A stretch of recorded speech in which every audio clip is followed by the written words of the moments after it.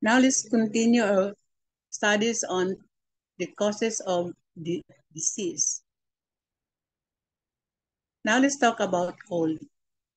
Cold lacks warmth, creates a slow or immobile landscape. So we have two causes of cold, external and internal. External comes with wind.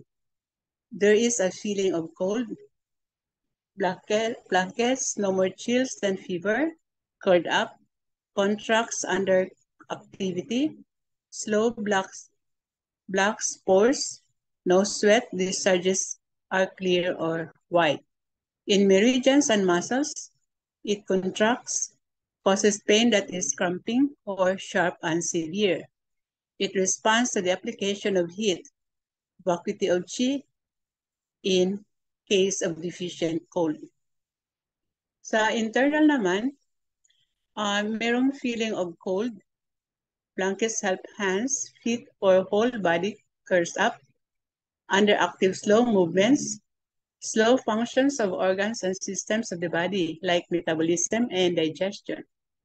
Difficulty relating in relationships, pain in organs, cramps, sharp vacuity of chi, blood. Then in excess type, diet, deficient type, Jing overwork which leads to deficiency of G or blood. Next is heat.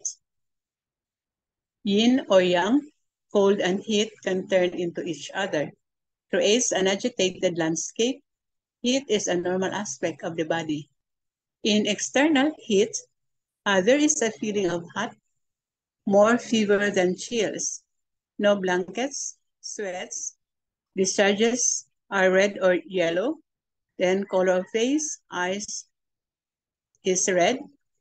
And fire poisons, inflammation can dry up or consume the yin and has and can feel hot.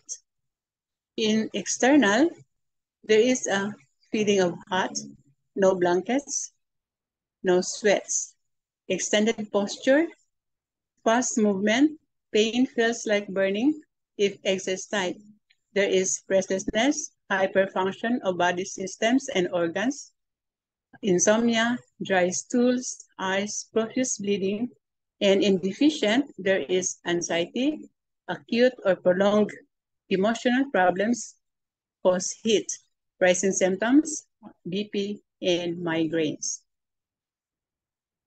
Next is dampness. Not as clear a distinction between internal and external dampness. Dampness is an external pernicious influence that quickly becomes part of the landscape and is very difficult to treat. Can also be generated from the interior. Characteristics include wet, heavy, and slow.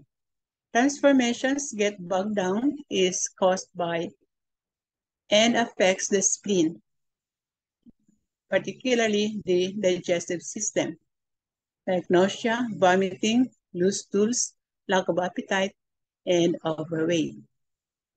Combines with heat in the exterior of the body and in the organs. Combines with cold, especially in the organs, like uterus, stomach, and intestines. Manifest in the limbs and lower part of the body, like heavy, numbness, achy, and edema. Pain is diffuse without clear boundaries, soft, mushy flesh, and muscles.